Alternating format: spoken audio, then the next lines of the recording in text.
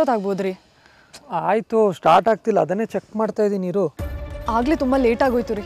ಮನೆ ಕಡೆ ಏನಾಗ್ತಿದೆಯೋ ಏನೋ ಗೊತ್ತಾಗ್ತಿಲ್ಲ. ನಿಮ್ಗೇನು ಅನಿಸುತ್ತೆ? ಅತ್ತೆ ಯಾಕೆ ಇವತ್ತೇ ಮುಕುಂದ ಬರಕ್ಕೆ ಹೇಳಿದ್ದಾರೆ ನಾವು ಇರ್ಬೋದಿತ್ತಲ್ವಾ? ಇಷ್ಟು ಚಿಕ್ಕ ವಿಷಯನ ದೊಡ್ಡದು ಮಾಡಬೇಡ ಶೋಭಾ. ಮೊದಲು ನಾಳೆ ಬರಬೇಕು ಅಂದಿರ್ಬೋದು. ಆಮೇಲೆ ಪ್ಲ್ಯಾನ್ ಚೇಂಜ್ ಮಾಡಿ ಇವತ್ತೇ ಬನ್ನಿ ಅಂದಿರ್ಬೋದು. ನಾವೆಲ್ಲ ಇಲ್ಲಿ ಬಂದಿದ್ವಲ್ಲ ಅದಕ್ಕೆ ಸುಮ್ಮನೆ ಫೋನ್ ಮಾಡಿ ಕರ್ಸೋದು ಬೇಡ ಅಂತ ಸುಮ್ಮನೆ ಇರ್ಬೋದು ಇಷ್ಟೊಂದು ಪಾಸಿಬಿಲಿಟೀಸ್ ಇದೆ. ಯಾಕೆ ಸುಮ್ಮನೆ ವರಿ ಮಾಡ್ತಿದ್ಯಾ? ಸರಿ ಏನಾದರೂ ಆಗಿರಲಿ. ಎಲ್ಲ ಸರಿ ಇದ್ರೆ ಆಯಿತು. ಮೊದಲು ಬೈಕ್ ಸ್ಟಾರ್ಟ್ ಮಾಡಿ.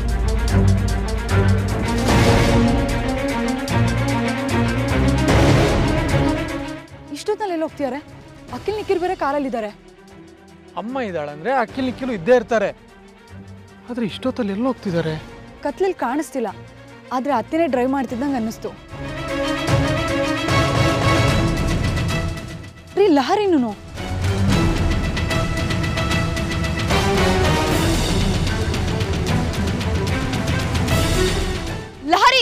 ಲಹರಿ ರೀ ಏನಿದೆಲ್ಲ? ನಿಜವಾಗ್ಲೂ ಏನಾಗ್ತಿದೆ? ನಂಗೆ ತುಂಬ ಭಯ ಆಗ್ತಿದೆ. ಬೇರೆ ಸರಿಯಾದ ಟೈಮಲ್ಲಿ ಸ್ಟಾರ್ಟ್ ಆಗ್ತಿಲ್ಲ. ಶೋಭಾ ನೀನು ಆಟೋ ತಗೊಂಡು ಮನೆಗೆ ಹೋಗು. ನಾನು ನೋಡ್ತೀನಿ ಏನಂತ. ಹುಷಾರು.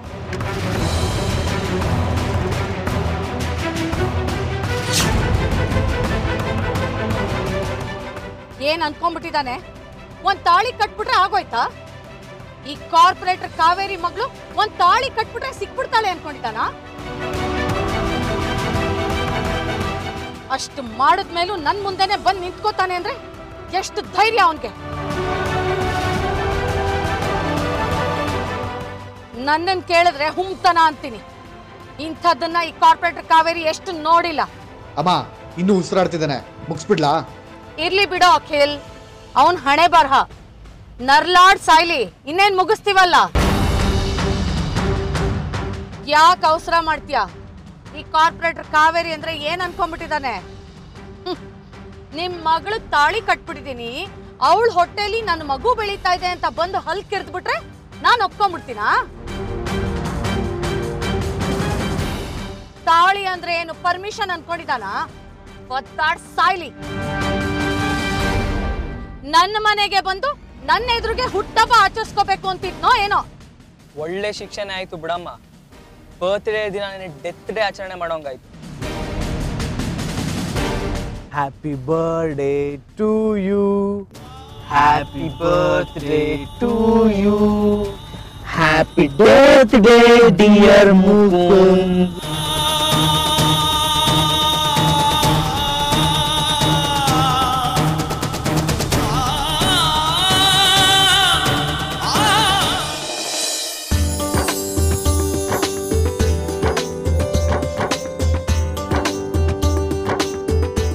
ಬೇಗ ಬೇಗ ರೆಡಿ ಮಾಡ್ರಪ್ಪ. ಲೋ ಚಿಕ್ಕಣ್ಣ ಯಜಮಾನ್ರೆ ಮುಕುಂದನ್ ಬರ್ತಡೇನ ಇದೇ ಫಸ್ಟ್ ಟೈಮ್ ಕಣ ಇಷ್ಟು ಗ್ರ್ಯಾಂಡ್ ಆಗಿ ಮಾಡ್ತಾ ಇರೋದು. ಅವನ್ ಬದುಕಲ್ಲ ಆ ಹುಡುಗಿ ಬಂದ್ಮೇಲೆ ಅವ್ನ ಅದೃಷ್ಟ ಕುಲಾಯಿಸಿದೆ ಅನ್ಬೇಕು. ದಿನದಿಂದ ದಿನ ಮೇಲೆ ಕೇರ್ತಾನೆ ಇದ್ದಾನೆ. ಹೂ ಯಜಮಾನ್ರೆ ಮುಕುಂದಣ್ಣ ತುಂಬಾ ದೊಡ್ಡ ಮನುಷ್ಯ ಆಗ್ತಾನೆ ಅಂತ ನನಗೆ ಮುಂಚೆನೆ ಗೊತ್ತಿತ್ತು. ಹಂಗಂತ ಯಾವತ್ತೋ ಹೇಳ್ತಿದ್ದೆ ನಾನು. ಏ ಇನ್ನೇನ್ ಮುಕುಂದ ಬರೋ ಟೈಮ್ ಆಯ್ತು. ಜೊತೆಗೆ ಲಹರಿನೂ ಕರ್ಕೊಂಬರ್ತೀನಿ ಅಂತ ಹೇಳ್ಯಾನೆ ಅವ್ರು ಬರೋಷ್ಟೊಳಗೆ ಎಲ್ಲ ಅರೇಂಜ್ಮೆಂಟು ಆಗಿರ್ಬೇಕು. ಅವ್ರು ಬಂದು ನಮ್ಮ ಜೊತೆ ಕೈ ಜೋಡಿಸಿ ಕೆಲಸ ಮಾಡೋ ಹಾಗಾಗ್ಬಾರ್ದು ಅವ್ನು ಹುಟ್ಟುದಬ್ಬ ದಿನ ಆದ್ರೂ ಅವನು ಆರಾಮಾಗಿರ್ಲಿ. ಕೇಕ್ ತಂದಿದ್ಯಾ? ತಂದಿದ್ದೀನಿ ಯಜಮಾನ್ರೆ ಒಳಗಡೆ ಇಟ್ಟಿದ್ದೀನಿ. ಅಣ್ಣ ಬಂದ ತಕ್ಷಣ ತಂದಿಟ್ಬಿಡ್ತೀನಿ. ಏ ಮೊದಲು ತಗೊಂಬಂದಿಡೋ ಕ್ಯಾಂಡ್ಲ್ ಇಡು. ಅವ್ನು ಬರ್ತಿದ್ದ ಹಾಗೆ ಕ್ಯಾಂಡ್ಲ್ ಹಸಿ ಕೇಕ್ ಕಟ್ ಮಾಡಲಿ. ಹ್ಮ್ ಆಯ್ತು ಯಜಮಾನ್ರೆ ತರ್ತೀನಿ. Happy birthday to you happy birthday to you happy birthday to dear ಮುಕುಂದಣ್ಣ happy birthday to you ಏನ್ ಚಿಕ್ಕಣ್ಣ ಇಂಗ್ಲೀಷ್ ಎಲ್ಲ ಕಲ್ತ್ಬಿಟ್ಟಿದ್ಯಾ? ಇನ್ ಮುಂದೆ ಎಲ್ಲ ಇಂಗ್ಲೀಷ್ ಅಲ್ಲನಾ? ಇನ್ನು ಮುಕುಂದಣ್ಣ ಬರೋದು ಎಷ್ಟೊತ್ತಾಗತ್ತಂತೆ? ಇನ್ನೇನು ಬಂದ್ಬಿಡ್ತಾನಪ್ಪ? ನಮ್ಮ ಮುಕುಂದ ಈಗೇನು ಸಾಮಾನ್ಯ ದೋಸೆ ಹಾಕೋನು ಅನ್ಕೊಂಡಿದ್ಯಾ? ಐ ಎ ಎಸ್ ಆಫೀಸರು ನೋಡ್ತಾ ಇರು. ಜುಮ್ ಅಂತ ಕಾರಲ್ಲಿ ಬಂದು ಹಿಡಿತಾನೆ ಅಂತ. ನನ್ಗೊಂದು ಅನುಮಾನ ಯಜಮಾನ್ರೆ ನಾವು ಇಷ್ಟೊಂದೆಲ್ಲ ರೆಡಿ ಮಾಡ್ಕೊಂಡಿದ್ದೀವಿ, ನಿಜ. ಆದ್ರೆ ಅಕಸ್ಮಾತ್ ಮುಕುಂದಣ್ಣನ ಬರ್ತಡೇ ಅವ್ರ ಅತ್ತೆ ಮನೆಯಲ್ಲೇ ಮಾಡ್ಕೊಂಡ್ಬಿಟ್ರೆ? ಅದು ಅಳಿಯ ಬಂದಿದ್ದಾನೆ ಬರ್ತ್ಡೇ ದಿನನೇ ಮೊದಲನೇ ಸಾರಿ ಬಂದಿದ್ದಾನೆ ಅಂತ ಹಾಗೆ ಕಳಿಸ್ಬಿಡ್ತಾರಾ? ಸೆಲೆಬ್ರೇಟ್ ಮಾಡೇ ಮಾಡ್ತಾರೆ.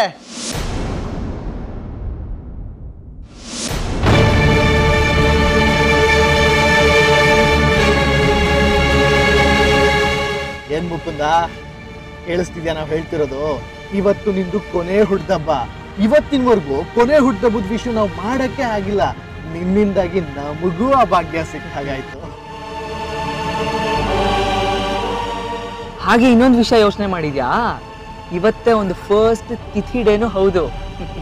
ಏ ತಿಥಿ ಮಾಡೋದು ವರ್ಷ ಆದ್ಮೇಲೆ.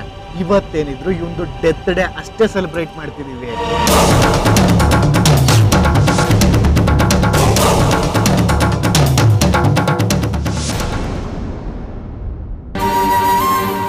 ಲಹರಿ ಬೀಳ್ತೀಯಾ? ಸರಿಯಾಗಿ ನಡಿಬಾರ್ದಾ? ನಿನ್ ಪಕ್ಕ ನಡೆದ್ರೆ ನಿನ್ ಮುಖ ಕಾಣಿಸಲ್ವಲ್ಲ? ನನ್ನನ್ನ ಕಳ್ಕೊಳ್ಬೇಕು ಅನ್ಕೊಂಡಿದ್ಯಾ ನೀನು?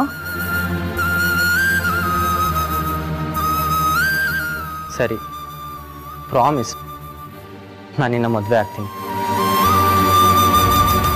ಏ ಅಖಿಲ್ ನಿಖಿಲ್ ಇದೇನನ್ರೋ ಬ್ರಿಡ್ಜ್ ನೀವು ಹೇಳಿದ್ದು? ಉಮಾ ಇದೇ ಬ್ರಿಡ್ಜು ನೀನು ನಡಿ ನಾನು ನಿಮ್ಮನ್ನ ಕರ್ಕೊಂಬರ್ತೀನಿ.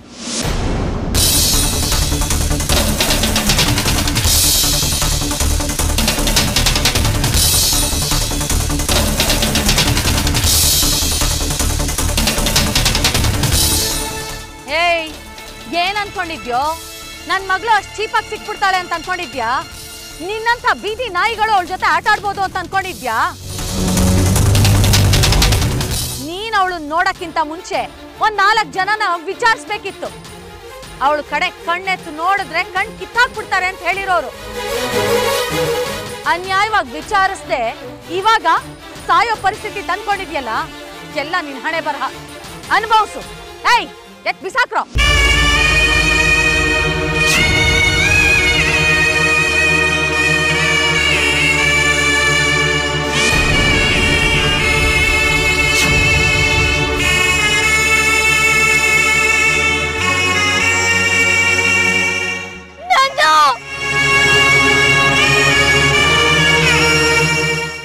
ಮಾಡ್ತಿದ್ಯಾ? ಏನ್ ಮಾಡ್ತಿದ್ಯಾ? ಯಾಕೆ ಬ್ರಿಡ್ಜ್ ಮೇಲಿಂದ ಹಾರಕ್ ಹೋಗ್ತಿದ್ಯಾ?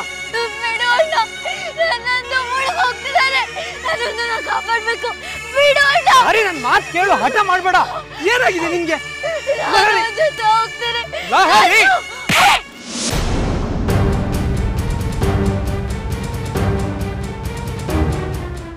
ಲಹರಿ.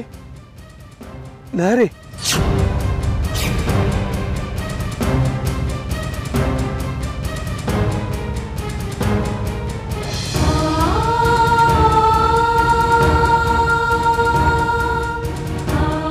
ಏನಾಯ್ತು ಅಂತ ಗೊತ್ತಾಗ್ಲಿಲ್ವಲ್ಲ? ಲಾರಿ ಯಾಕೆ ಹೀಗಾಡ್ತಿದ್ದಾಳೆ ಅಲ್ಲ, ಅಮ್ಮ ಯಾಕೆ ಈ ದಾರಿಯಲ್ಲಿ ಬಂದರು? ಇವಳಿಗೆ ಏನಾಯ್ತು?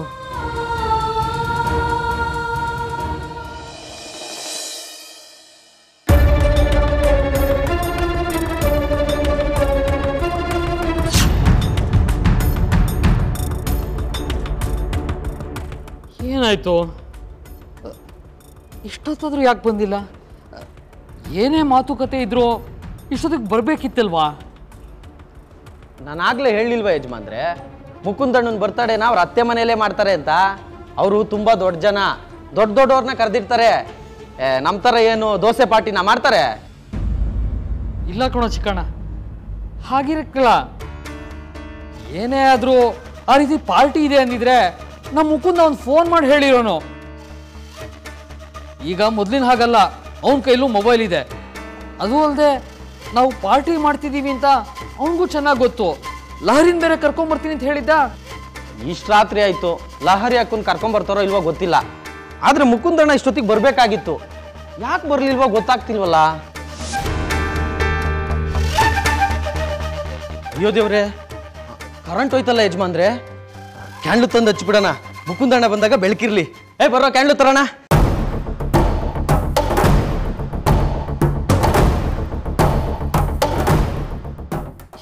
ಯಾಕೆ ಇಷ್ಟೊತ್ತಾದರೂ ಬಂದಿಲ್ಲ. ಫೋನ್ ಮಾಡಿಲ್ವೇ? ಫೋನ್ ನಂಬರ್ನ ಬರೆದಿಡ್ತೀನಿ ಇಂದ. ಹೋಗಿ ನೋಡ್ತೀನಿ.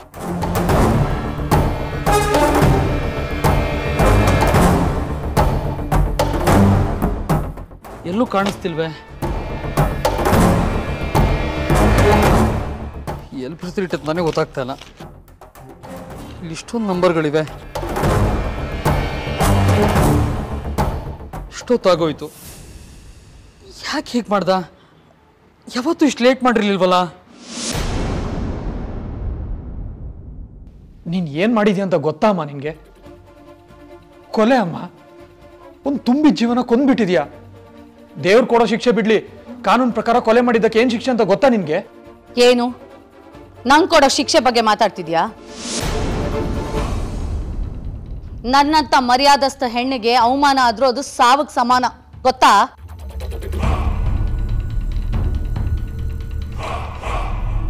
ಅವಮಾನ ಆಗಿ ನಿಮ್ಮಮ್ಮ ಸತ್ರೆ ಪರವಾಗಿಲ್ವಾ ನಿನಗೆ? ಅವಮಾನದಿಂದ ಬರೋ ಸಾವು ಒಂದು ಸಾರಿ ಬರೋದಿಲ್ಲ ಉದಯ್. ನೆನ್ಪಿರ್ಲಿ. ಒಂದು ಸಾರಿ ಅವಮಾನ ಆದ್ರೆ ಪದೇ ಪದೇ ಸಾಯಿಸತ್ತೆ. ದಿನ ದಿನ ಸಾಯಿಸತ್ತೆ. ಅದ್ ಪರವಾಗಿಲ್ವಾ? ಸಾವು ಬರುವಂತ ಅವಮಾನ ಅವನೇನಮ್ಮ ಮಾಡ್ದ? ಒಬ್ರನ್ನ ಕೊಲೆ ಮಾಡೋಷ್ಟು ಅವಮಾನ ಮಾಡೋಕ್ಕೆ ಸಾಧ್ಯನಾ? ಅವನು ಮೀಟ್ ಮಾಡೋದಕ್ಕೆ ಬಂದ. ನನ್ನ ಮಗಳು ಆರಿಸ್ಕೊಂಡಿರೋ ಹುಡುಗ ಯಾವ ರೀತಿ ಇರ್ಬೋದು ನೋಡೋದಕ್ಕೆ ಅವನ ಒಳಗಡೆ ಬಾ ಅಂತಂದೆ.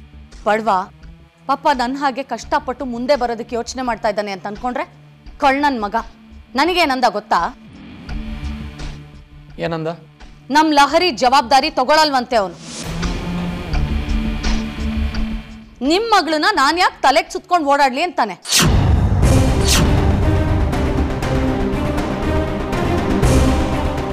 ಹೆತ್ತಮ್ಮ ನಾನು.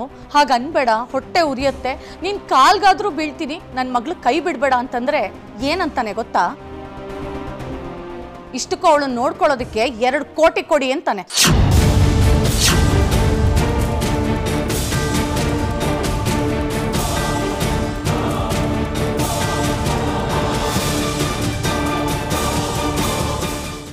ಏನು?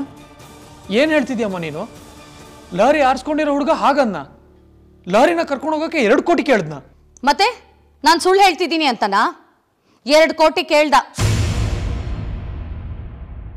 ಅಳಿಯ, ಕೊಟ್ಬಿಡೋಣ ಅಂತ ಅನ್ಕೊಂಡೆ. ಆದ್ರೆ ಎರಡು ಕೋಟಿ ಕೊಡೋವರೆಗೂ ನಿಮ್ಮ ಮಗಳು ಇಲ್ಲೇ ಬಿದ್ದಿರ್ಲಿ ಅಂತಾನೆ?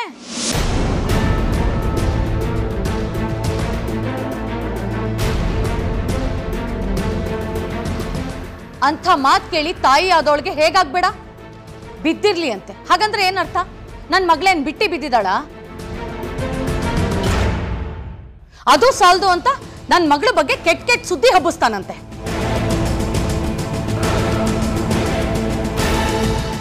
ನನ್ನ ಮಗಳು ತಲೆ ಎತ್ತಿ ತಿರುಗ್ದಿರೋ ಹಾಗೆ ಮಾಡ್ತಾನಂತೆ. ಕೋಪ ಬರಲ್ವಾ ನನಗೆ? ಹಾಗೂ ನಾನು ತಡ್ಕೊಂಡೆ, ಆದ್ರೆ ಇವ್ರಿಗೆ ರಕ್ತ ಕುದ್ದೋಯ್ತು.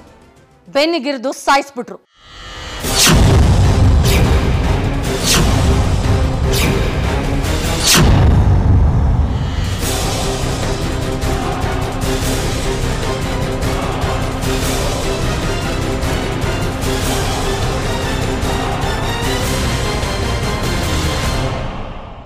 ನನ್ನ ಮಗಳ ಜೀವನನ ನನ್ನ ಕಣ್ ಮುಂದೆ ಹಾಳು ಮಾಡಕ್ ಬಂದವನ್ನ ಸುಮ್ಮನೆ ಬಿಡ್ಬೇಕಾ? ಅವ್ರ ಅಣ್ಣ ನೀನು. ನಿನ್ ರಕ್ತ ಕುದಿಯಲ್ವಾ? ನೀನ್ ಇದ್ದಿದ್ರೆ ಅವ್ನ ಅಷ್ಟು ಮಾತಾಡೋದಕ್ಕೂ ಬಿಡ್ತಿರ್ಲಿಲ್ಲ. ಆದ್ರೆ ಇದನ್ನ ಲಹರಿಗೆ ಹೇಗೆ ಅರ್ಥ ಮಾಡಿಸೋದು? ಅವಳು ಆರಿಸ್ಕೊಂಡಿರೋ ಅಂಥ ಹುಡುಗ, ಅವ್ನು ಹೀಗಿದ್ದ ಅಂದ್ರೆ ಅವಳು ನಂಬ್ತಾಳ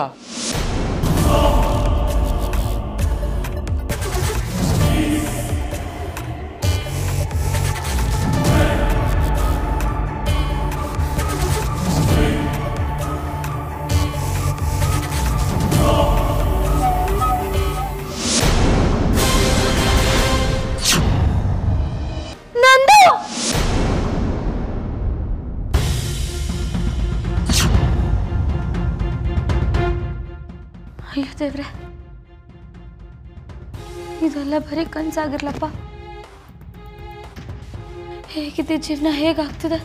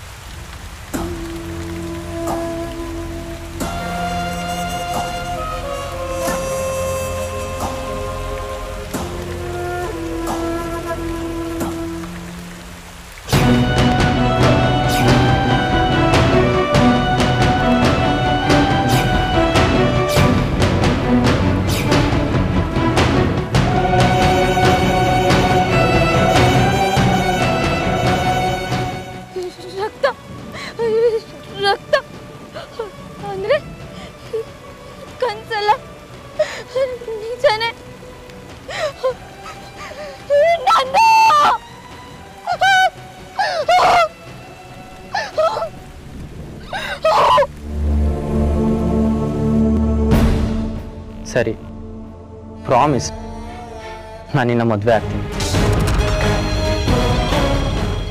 ಅಳ್ತಿದ್ಯಾ? ಅಳು, ಅಮ್ಮಂಗೆ ಶಾಪ ಹಾಕ್ತಿದ್ಯಾ? ಬೇಡ.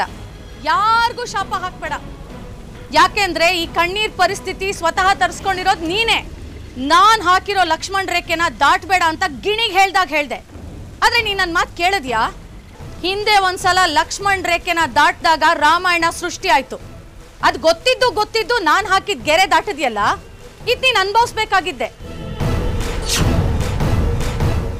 ಗೆರೆ ಹಾಕ್ದವ್ರಿಗೆ ಗೆರೆ ಅಳಿಸೋದು ಗೊತ್ತು. ನಿನ್ನ ಹಣೆ ಬರಹ ಬದಲಾಯಿಸೋದು ಗೊತ್ತು. ಈ ಕಾವೇರಿ ಮಾತನ್ನ ಯಾರು ಕೇಳಲ್ವೋ ಅವ್ರ ಕಣ್ಣಲ್ಲಿ ನೀರಲ್ಲ, ರಕ್ತ ರಕ್ತ ಸುರಿಸ್ತಾರೆ.